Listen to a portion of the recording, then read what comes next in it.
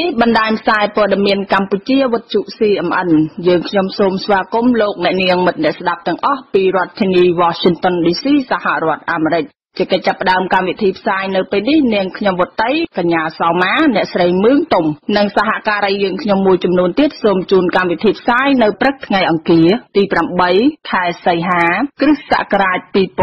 2017ដែលត្រូវនឹងថ្ងៃ1រោចខែស្រាបឆ្នាំរកាពុទ្ធសករាជ2561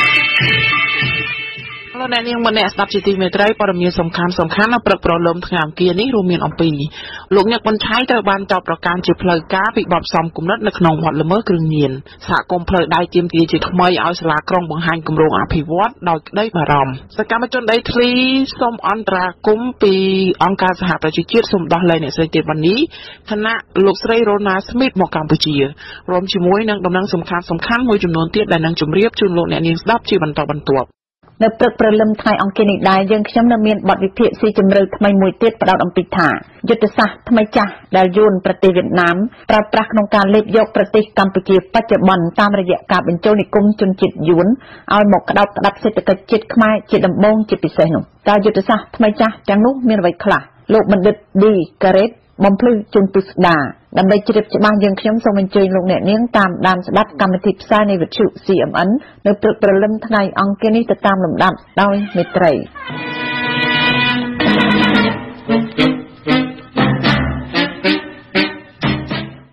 ជាកិច្ចចាប់ផ្ដើមនៃកម្មវិធីព័ត៌មានប្រចាំថ្ងៃរបស់វិទ្យុ CMN នៅព្រឹកព្រលឹមថ្ងៃអង្គារនេះនាងខ្ញុំសោមាសូមជូនខ្លឹមសារពិស្ដាទៅតាមលំដាប់ដូចតទៅ។ ไม่ดักน้อมกนาปะขมายรูปรวมเชิดลงหยกมันใช้กระบาลตลาก้าจอประการเชื้อเพลิงก้าในรัสเซียทั้งไงอาจจะบนตัวปีบานสะสู้อริยะเปรย์ปนมาทั้งไงหมกนี้อาจจะจับมันเตยจอนขปูหระบอหระทาวิบารุมนี้กระบาลสมัติเกยขอดคล้วนการปิดไงประหัวกันลองมอกได้สมัติเกยทาบานจวบแปะป้อนหนึ่งบอลละเมอคืนเงี้ยนก้าปิดดับชนามุน អតីតមន្ត្រីជាន់ខ្ពស់គណៈបរិជានិយមហ៊ុនស៊ិនប៉ិចរូបនេះត្រូវបានស្លាកដំបងរាជធានីភ្នំពេញសាកសួរតាំងពីថ្ងៃសុក្រសប្តាហ៍មុនមកម្ល៉េះនៅក្នុងសេចក្តីថ្លែងការណ៍ការពីរសៀលថ្ងៃអាទិត្យអ្នកនាំពាក្យអัยការអមស្លាកដំបងរាជធានីភ្នំពេញបានឲ្យដឹងថាលោកញឹកប៊ុនឆៃត្រូវបានតុលាការចោទប្រកាន់ពីបទផ្សំគំនិតក្នុងបទល្មើសផលិតគ្រឿងញៀននិងនាំចូលសារធាតុសម្រាប់ផ្សំគ្រឿងញៀនអ្នកនាំពាក្យសាលារាជធានីភ្នំពេញបានឲ្យដឹងក្នុងសេចក្តីថ្លែងការណ៍នោះបន្ថែមថាសំណុំរឿងលោកញឹកប៊ុនឆៃត្រូវបានបញ្ជូនទៅ ចៅក្រមស៊ើបសួរដើម្បីចាត់ការបន្តតាមនីតិវិធីច្បាប់បើតាមសេចក្តីថ្លែងការណ៍ការចោទប្រកាន់លោកញឹកប៊ុនឆៃអាយុ59ឆ្នាំត្រូវបានធ្វើឡើងបន្ទាប់ពីទណ្ឌិតជនជាតិចិនឈ្មោះជាជុងបានសារភាពនិងរៀបរាប់ឈ្មោះអ្នកនៅពីក្រោយនៃការផលិតគ្រឿងញៀន កាលពីឆ្នាំ2007នៅឯភូមិទី1ឃុំត្រែងរយើងស្រុកភ្នំស្រួចខេត្តកំពង់ស្ពឺទោះយ៉ាងណាការចាប់ខ្លួននិងចាប់ប្រកាន់លោកញឹកប៊ុនឆៃត្រូវបានធ្វើឡើងបន្ទាប់ពីលេចធ្លាយដំណឹងថាឧត្តមសេនីយ៍ផ្កាយ4រូបនេះមានបំណងចោះចូលជាមួយគណៈបកសង្គ្រោះជាតិដែលនាំឲ្យមានការចោទថាលោកមិនស្មោះត្រង់នឹងគណៈបកកណ្ដាលអំណាចវិទ្យុសៀមិនជាសម្លេងជនរងគ្រោះ ប្រជាពលរដ្ឋដែលរស់នៅតាមបណ្ដោយផ្លូវដែកប្រមាណ8សហគមន៍បានមកដាក់ញត្តិជាថ្មីនៅសាលាក្រុងភ្នំពេញនៅព្រឹកថ្ងៃទី7ខែសីហាក្នុងគោលបំណងទាមទារការឆ្លើយតបអំពីផែនការការអភិវឌ្ឍរបស់សាលាក្រុងនិងតាមដានលទ្ធផលនៃការដាក់ញត្តិ ពីលើកមុនមុនគណៈពួកគេព្រួយបារម្ភពីការបណ្ដឹងចេញដោយសហគមន៍ដទៃទៀតសហគមន៍ទាំងនោះមានដូចជាសហគមន៍អភិវឌ្ឍថ្មីសហគមន៍រួបរวมចិត្តតែមួយសហគមន៍ភូមិ2សហគមន៍ភូមិ17សហគមន៍ភូមិ21សហគមន៍ភូមិ23សហគមន៍ភូមិ104សហគមន៍ភូមិ105ស្ថិតនៅខណ្ឌដូនពេញខណ្ឌទួលគោករាជធានីភ្នំពេញប្រជាពលរដ្ឋរស់នៅសហគមន៍23អ្នកស្រីមាសស្រីមុំបានប្រាប់អ្នកសារព័ត៌មានថាអ្នកស្រីមានការ ព្រួយបារម្ភខ្លាំងចំពោះ ភាពនៅស្ងៀមរបស់សាលាក្រុងពលគឺដោយសារតែសាលាក្រុងមិនព្រមបង្ហាញគម្រោងអភិវឌ្ឍអ្នកស្រីថាអ្នកស្រីនិងគ្រួសារដទៃទៀតនៅតំបន់ផ្លូវដែកនេះចង់បានការអភិវឌ្ឍនៅនឹងកន្លែងសូមបានកម្មសិទ្ធិមិនមានការបណ្តេញចេញដោយបង្ខំអ្នកស្រីបានធ្វើការព្រមានទៅកាន់អាជ្ញាធរថាបើសិនជាសាលាក្រុងនៅតែមិនព្រមផ្ដោតចម្លើយទេអ្នកស្រីនិងក្រុមសហគមន៍នឹងបន្តទាមទារនេះតទៅទៀតអាចធ្វើទៅដល់ខុទ្ទកាល័យនាយករដ្ឋមន្ត្រីស្វែងរកការជួយពីស្ថាប័នផ្សេងៗទៀតលោកនា ីងផានិតប្រជាសហគមន៍អភិវឌ្ឍថ្មីថ្លែងថាសាលាក្រុងមិនបានចេញសញ្ញាអ្វីពីការបង្ហាញផែនការអភិវឌ្ឍឬយល់ស្របជាមួយនឹងញត្តិដែលបានដាក់ទៅកាន់កន្លងមកនោះទេ ឆ្លើយតបនឹងបញ្ហានេះលោកមេតមីភក្តីបានប្រាប់ឲ្យដឹងថាខាងសាលាក្រុងមិនទាន់មានគម្រោងធ្វើការអភិវឌ្ឍអ្វីទៅលើសហគមន៍ផ្លូវដែកទាំងនោះទេលោកក៏បានបញ្ជាក់ដែរថាសាលាក្រុងនឹងមានការបើកវេទិកាពិភាក្សាគ្នាជាមួយនឹងពលរដ្ឋជាបន្តបន្ទាប់ទៀតបើសិនជាមានសកម្មភាពអភិវឌ្ឍលើកក្រោយគូបញ្ជាក់ដែរថាពលរដ្ឋនៅសហគមន៍ផ្លូវដែកមួយចំនួនបានអះអាងថា មានសុរិយោដី បានទៅវាស់វែងផ្លូវនៅផ្ទះរបស់ពួកគាត់ហើយបានសរសេរលើជញ្ជាំងផ្ទះដែលធ្វើឲ្យពួកគាត់មានការព្រួយបារម្ភឆ្លើយតបនឹងបញ្ហានេះមន្ត្រីសាលាក្រុងប្រាប់ថានេះគ្រាន់តែជាការចុះស្ទង់ស្ថិតិរបស់សហគមន៍ នៅក្នុងទីក្រុងប៉ុណ្ណោះគ្មានអ្វីទាក់ទងនឹងការអភិវឌ្ឍសហគមន៍ផ្លូវដែកនោះទេមូលហេតុដែលនាំឲ្យពលរដ្ឋនៅតំបន់ផ្លូវដែកមានការព្រួយបារម្ភនិងតែងតែដាក់ញត្តិទៅសាលាក្រុងដោយពួកគេថាកន្លងមកការអភិវឌ្ឍនៅរាជធានីភ្នំពេញមានការបណ្ដេញប្រជាពលរដ្ឋចេញពីលំនៅឋានដូចជាបង្កក់បរិយាកីឡានៃក្រហមសបុកចាប់ដោយបើកផ្លូវឲ្យក្រុមហ៊ុនចូលអភិវឌ្ឍហើយមកដល់ពេលនេះអ្នកខ្លះនៅមិនទាន់បានសំណងនៅឡើយវត្ថុ CMN បំរើប្រជាជាតិខ្មែរ សហកម្មជនដីធ្លីនៅតំបន់បង្កក់បាននាំគ្នាដាក់ញត្តិទៅអង្គការសហប្រជាជាតិកាលពីព្រឹកថ្ងៃទី7ខែសីហាដោយសូមអន្តរាគមន៍ឲ្យដោះលែងតំណាងរបស់ពួកគេ គឺអ្នកស្រីទេប៉ានីគណៈលោកស្រី Rona Smith អ្នករាយការណ៍ពិសេសរបស់អង្គការសហប្រជាជាតិទទួលបន្ទុកសិទ្ធិមនុស្សមកទស្សនកិច្ចនៅកម្ពុជា។ ការរកកិច្ចអន្តរាគមន៍នេះធ្វើឡើងស្របពេលដែលស្លាវធរក្រុងនឹងប្រកាសសាដីកាលើបណ្ដឹងសារទោសរបស់អ្នកស្រីទេវនីនៅថ្ងៃ8ខែសីហាតំណាងសហគមន៍បង្កក់អ្នកស្រីបើសាភាបានប្រាប់អ្នកសារព័ត៌មានបន្ទាប់ពីដាក់ញត្តិថា ពួកគាត់សូមជួបលោកស្រី Rona Smith នៅពេលដែលលោកស្រីមកបំពេញទស្សនកិច្ចនៅកម្ពុជារយៈពេល10ថ្ងៃគិតចាប់ពីថ្ងៃទី8ដល់ថ្ងៃទី18ខែសីហាឆ្នាំ2017អ្នកស្រីថាពួកគាត់ចង់ឲ្យលោកស្រី Rona Smith ជួយជំរុញទៅរដ្ឋាភិបាលនិងរដ្ឋមន្ត្រីក្រសួងយុតិធធឲ្យដោះលែងអ្នកស្រីទេវ៉ានី នៅពេលដែលមានជំនួបជាមួយនឹងរដ្ឋមន្ត្រីក្រសួងយុតិធធកម្ពុជាតំណាងការិយាល័យឧត្តមស្នងការអង្គការសហប្រជាជាតិទទួលបន្ទុកសិទ្ធិមនុស្សប្រចាំកម្ពុជា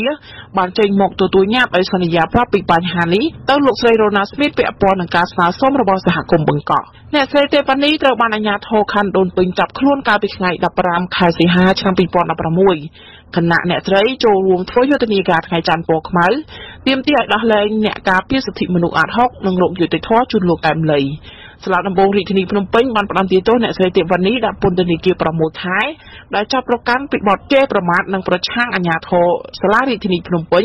កាលពីចូលឆ្នាំ2011ប៉ុន្តែតុលាការទើបតែកាត់ទោសសកម្មជនដីធ្លីរូបនេះបន្ថែមមួយករណីទៀតដាក់ពន្ធនាគារ2ឆ្នាំកន្លះដែលចាប់ប្រកាន់ថាប្រើហិង្សាលើក្រុមសន្តិសុខខណ្ឌដូនពេញកាលពីឆ្នាំ2013វិទ្យុសៀមអិនជាសម្លេងអ្នកជាតិនិយម ប្រជាពលរដ្ឋមានទំនាស់ដីធ្លីមកពីសហគមន៍ចំនួន3នៅខាងខេត្តស្វាយរៀងបានឡើងមកដាក់ញត្តិនៅទីស្តីការគណៈរដ្ឋមន្ត្រីសូមឲ្យលោកហ៊ុនសែនអន្តរាគមន៍ទៅកាន់មន្ត្រីថ្នាក់ក្រោមដោះស្រាយបញ្ហាដីធ្លីដែលពួកគេកំពុងជួបប្រទះកាលពីព្រឹកថ្ងៃទី7ខែសីហាប្រជាពលរដ្ឋជិត100នាក់ ដែលថាតំណាងឲ្យ1735គ្រួសារនៅសហគមន៍សាមគ្គីចេកមាសសហគមន៍សាមគ្គីរមាសហែកសហគមន៍អណ្ដូងត្របែកនៅក្នុងស្រុករមាសហែកបានដាក់ញត្តិទាមទារឲ្យមន្ត្រីថ្នាក់ក្រោមបញ្ឈប់ការគម្រាមកំហែងនិងដោះស្រាយបញ្ហារំលោភបំពានដីធ្លីពីសំណាក់ក្រុមហ៊ុន និងអាជ្ញាធរមានអំណាចទៅលើដីចំនួន875.92ហិកតា ដែលសហគមន៍ទាំង3កំពុងជួបប្រទះ តំណាងសហគមន៍អណ្ដូងត្របែកលោកញូថាមានប្រសាសន៍ថាដីសហគមន៍របស់លោកត្រូវបានអាជ្ញាធរមកឈូសឆាយបំពេញយកជាង250ហិកតាកាលពីខែសីហាឆ្នាំ2017ដោយលោកថាការឈូសឆាយនេះធ្វើឡើងតាមសជនរបស់ទីស្តីការគណៈរដ្ឋមន្ត្រី ធ្វើជាដីសម្បទានសង្គមកិច្ចសម្រាប់យោធិននិងនគរបាលខណៈដែលសជននោះកំណត់ត្រឹមតែ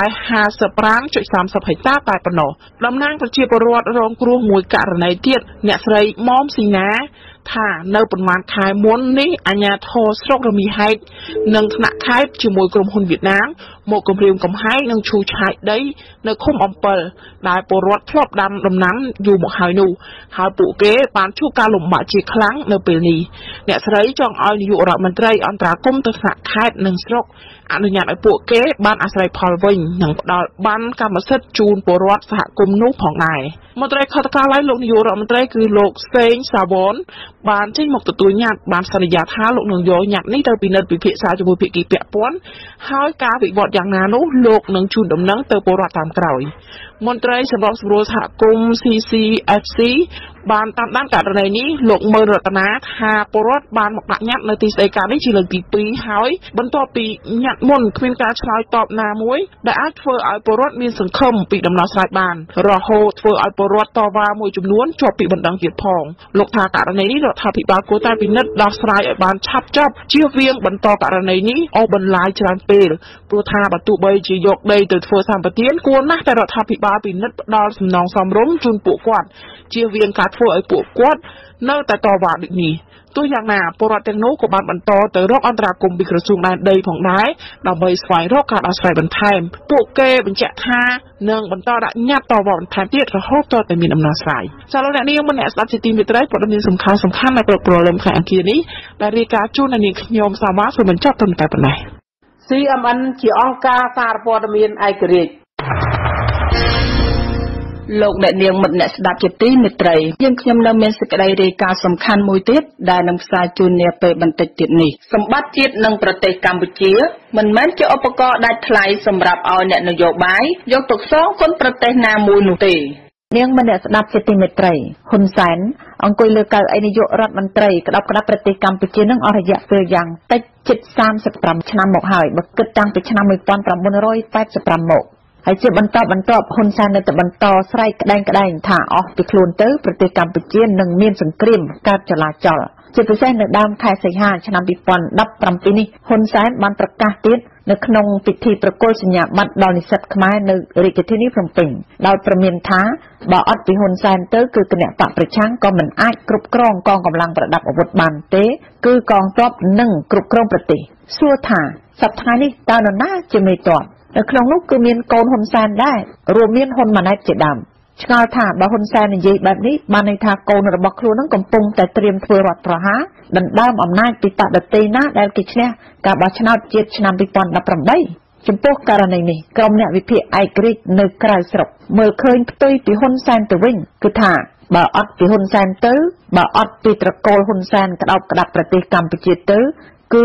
ចាប់ហើយ គឺងាប់ហើយរបបអាណានិគមនិយមយួនលើកម្ពុជា ចំណែកប្រជាពលរដ្ឋខ្មែរនឹងមិនស្លាប់ប្រជាជាតិខ្មែរនឹងរស់ជាថ្មីឡើងវិញរួចផុតពីរបបអាណានិគមនិយមយួនដែលចង់លេបទឹកដីបំបត្តិពិសាខ្មែរសួរថាហេតុអីបានជាមានទស្សនៈមើលឃើញបែបនេះអ្នកវិភាគយោងទៅលើសាវតាខ្មែរតាំងពីឆ្នាំ1979មកដែលបានបង្ហាញថាហ៊ុនសែនកាន់អំណាចដើម្បីតែបម្រើមហិច្ឆតាប្រទេសវៀតណាមក្នុងការលេបយកទឹកដីខ្មែរដែលជាដំបូងគឺបើកព្រំដែនទទួលស្វាគមន៍និគមជនជាតិយួននឹងឲ្យហូរចូលមកកម្ពុជាតាមទំនឹងចិត្តពិសេសជួយចិញ្ចឹមនិងបីបាច់ថែរក្សាយួននឹងលើគ្រប់វិស័យលើដីខ្មែរតើមានអំណះអំណាងជាក់ស្ដែងជាផ្លូវការអ្វីខ្លះបានជាហ៊ានមានការចោទប្រកាន់បែបនេះដើម្បីជ្រាបច្បាស់យើងខ្ញុំសូមអញ្ជើញលោកអ្នកនាងតាមដានស្ដាប់សេចក្តីបំភ្លឺពិស្ដារ របស់លោកបណ្ឌិតឌីការ៉េតអនុប្រធាននៃគណៈកម្មាធិការព្រំដែនកម្ពុជាដែលមានទីស្នាក់ការកណ្ដាលនៅទីក្រុងប៉ារីស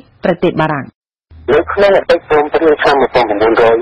វាសារៈសំខាន់ណាស់ទៅព្រមព្រៀងសម្រាប់ខ្ញុំជាតាមលោកខាងវិទ្យាពីព្រោះគឺនិយាយនៅក្នុងសេចក្តីនៃព្រមព្រៀងហ្នឹងវារំលឹកធំបំផុតអំពីចិត្តសន្តិភាព bằng lý thuyết người ta đã chúc phương khơi mặc dù là cái đường nào anh sáng có trăm lên hàng hai lớn hạ cho đại cả chỉ mua khơi chui khơi từ bên đường mông đại dương mình đang chui đi anh chế đến đây chế chui dương tập chế chui dương hai chui và đại dương thôi đi thôi lúc anh chỉ tham nào nó cứ thay việc tự tin rằng đó, mà ăn vọt nó khúc cả lại được nếu không phải ta cho ta thì cua khơi thì đã cái cái đấy, chứ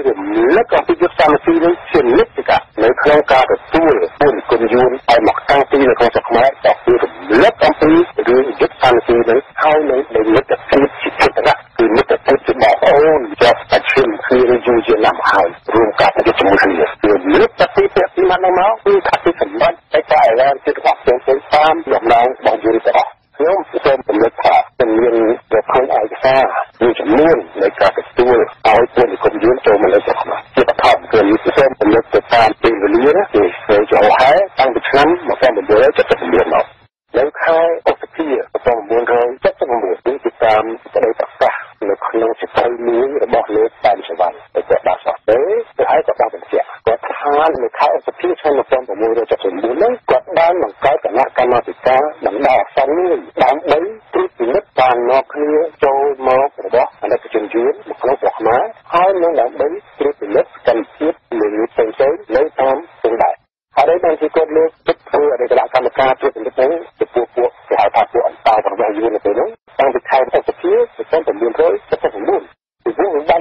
បានថាយួនចូលមកដល់ខែមកខាវាយួនពួកនិគមយួននេះក៏ដើរហោហើរចូលមកជាមួយនេះតាំងពីពេលនោះមកតាំងពីខែកុម្ភៈនេះនេះមេសាយហ្នឹងចឹងមកចូលមកហើយចឹងហើយបានជានៅខែឧសភានេះវាតាមច្បាប់គាត់ថាទៅបានប្រកាសអនុកម្មសាស្ត្ររបស់សិននេះដើម្បីព្រៀបនេះពីព្រោះវាដាក់នៅខាងទីមកដល់ពីណាធ្វើចឹងគេចូលមកខាងកាន់កាប់របស់ខ្មែរដោយពួកនិគមយួននេះមកទាំងរយប្រព័ន្ធយ៉ាងម៉េចទៅមកព្រៀបចឹងគាត់មិនលើកឡើងដល់គាត់អន្តរការអញ្ចឹងដើម្បីជួយពលិតតែគាត់មកទៀតនៅឆ្នាំ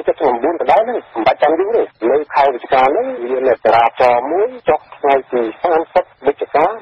1979ចុះហត្ថលេខាដោយលោកជាតិដែលនៅក្នុងរយចាយថាក្រមប្រឹក្សាប្រជាជនបដិវត្តជាមួយលោកហៃសំរិនជាមួយលោកប៉ែនសំបាននៅដែរក្រមប្រឹក្សាប្រជាជនបដិវត្តនេះគឺវាមានលក្ខណៈជារដ្ឋាភិបាលទេនៅទីនោះនៅក្នុងចរាចរណ៍ចុះថ្ងៃ30វិច្ឆិកា79នេះលោកជាតិនេះគឺបានបញ្ជាក់ថាពួកដែលអ្នកការទូថាលោកពួកអ្នករដ្ឋការលើកទីទាំងពីរ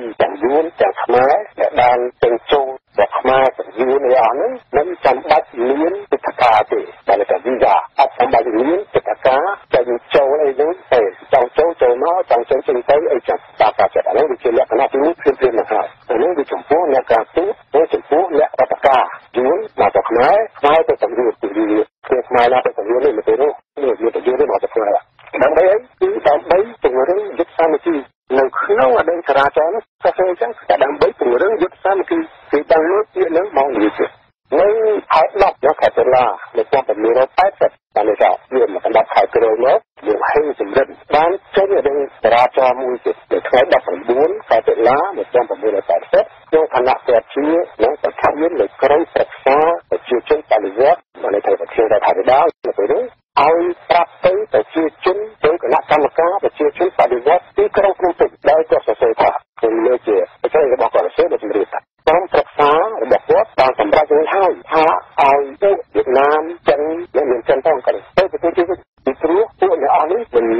lớn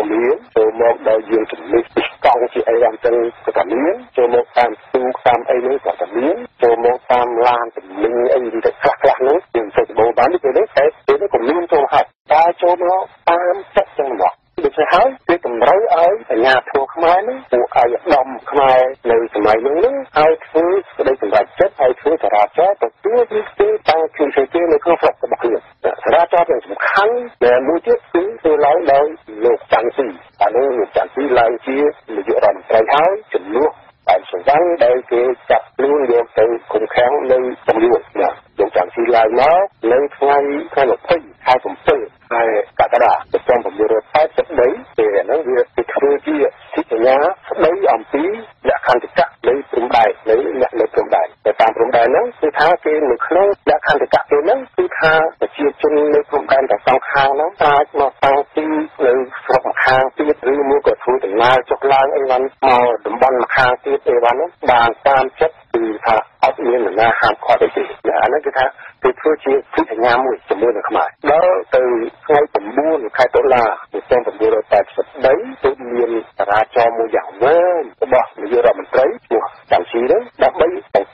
អនុវត្តនៅចរាចរណ៍របស់តាយភូថងដែលបញ្ជាក់ថាពួកយួនដែលធ្លាប់បានមករស់នៅហើយហើយនឹងពួកអ្នកមកថ្មីអីទាំងប្រមាណហ្នឹងតាំងពីបានអត់មានបញ្ហាទេតាមចិត្តដែរហើយយើងជាខ្មែរអាញាធរអ្នកមានសមត្ថកិច្ចខ្មែរទៅទទួលគេឧបត្ថម្ភគេដោយនិយាយថាតែមនុស្សហើយគេអាចនាំគ្រួសារគេមកក៏បានដែរមិនទាស់អីទេតែយើងទៅទៅជួយទទួលគេជួយឧបត្ថម្ភគេឲ្យបានសមរម្យក្នុងនាមនៃមិត្តភាពនិងចិត្តរៈភាពនៃ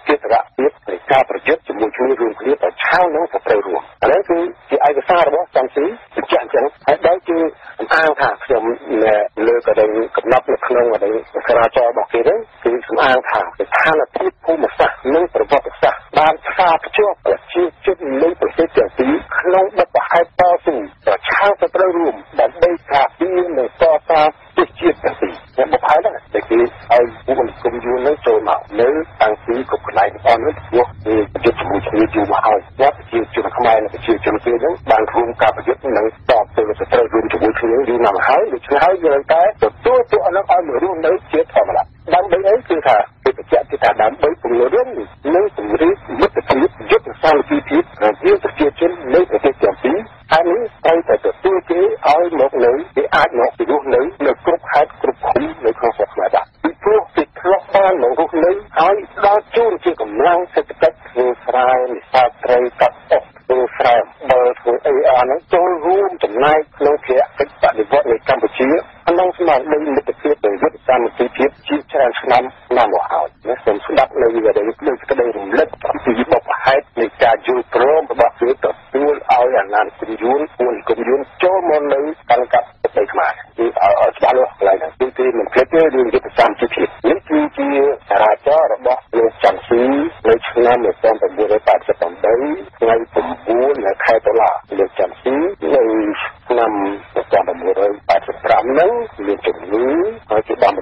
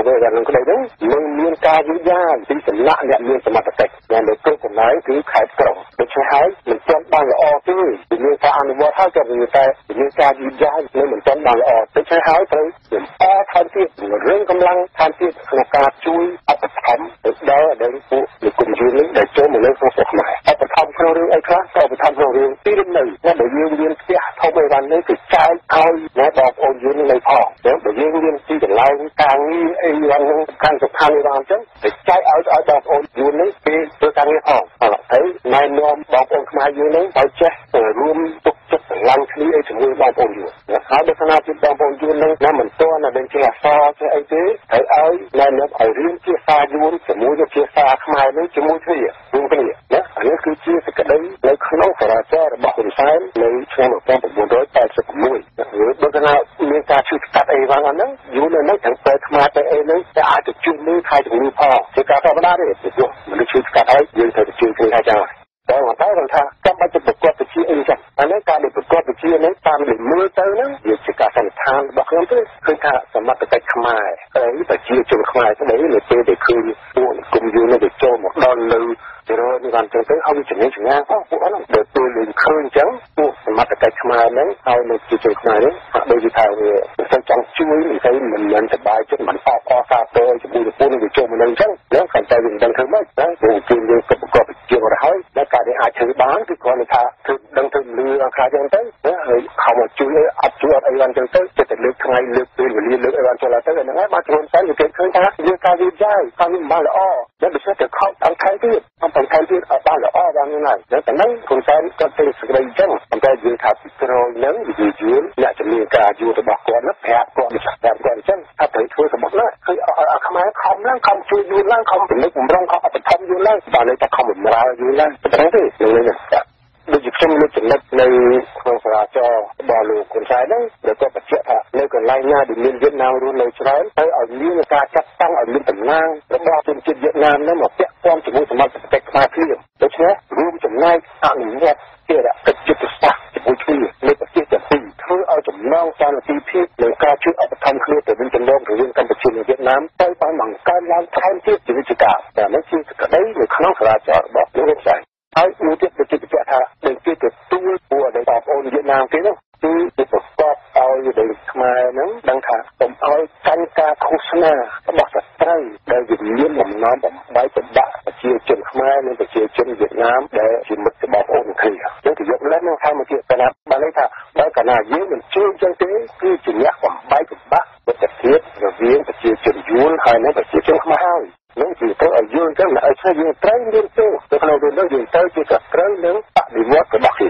នឹងជាចំណុចរបស់ចរាចរណ៍នៅលោកហ៊ុនសែនតែខ្ញុំបានធ្វើការពិចារណាទៅខ្ញុំឃើញថាតាមឯកសារផ្សេងផ្សេងដែលជំនឿបារាំងដែលជាបានទំនើដល់ ពេលនៅកន្លែងនោះដែរនៅក្នុងស្រុកនោះដែរគឺមួយក៏ជំនឿអន្តរកម្មខ្លះដែលគេធ្វើណោយធ្វើយ៉ាងទៅគឺបានទៅដល់ទីកន្លែងដែរហើយគេបានសង្កេតឃើញហើយគឺសរសេរជាឯកសារប្រាប់យើងតែយើងយល់ឃើញថាតើនៅពេលនោះខ្មែរនិងយួនមានប្រតិស្មារតីគ្នាឬទេនៅក្នុងស្រុកខ្មែរចំណុចនេះជាចំណុចសំខាន់ដែលយើងជាអ្នកម្ចាស់ស្រុកហើយគេគេមកនៅជាមួយយើងយើងទទួលគេឲ្យរស់នៅតើនៅក្នុងលក្ខណៈយ៉ាងម៉េច នៅក្នុងលក្ខណៈយ៉ាងម៉េចយើងមិនទាំងស្មើទេផងគេមកជាចង្វាយយើងដូចថាដល់ការណាមានទំនាស់នៅក្នុងអីរវាងអ្នកអ្នកភូមិអ្នកស្រុកអីហ្នឹងណាមិនមែនទំនាស់អីជាអ្នកធំដុំផ្លូវកាយទេកាលណាមានទំនាស់រវាងអ្នកភូមិអ្នកស្រុកអីហ្នឹងពួកអីយួនដែលគេចូលមកនៅយើងហ្នឹងគេប្រាប់ខ្មែរយើងថាទីគេបានគេមានចិត្តធំណាមនុស្សខ្មែរគេមកគេបានសម្បោះខ្មែរហ្នឹងឲ្យរស់ណាដូច្នេះហើយគេធ្វើអីក៏បានដែរនៅក្នុងស្រុកខ្មែរហ្នឹង ឥឡូវគឺសម្ដីបើខ្មែរជនជាតិខ្មែរជិះខ្លួនមកក្រៅប្រមាណហ្នឹងនិយាយប្រាប់យើងនៅសម័យនោះតែបើជួយគេមកជាអ្នកធំជាសវាយ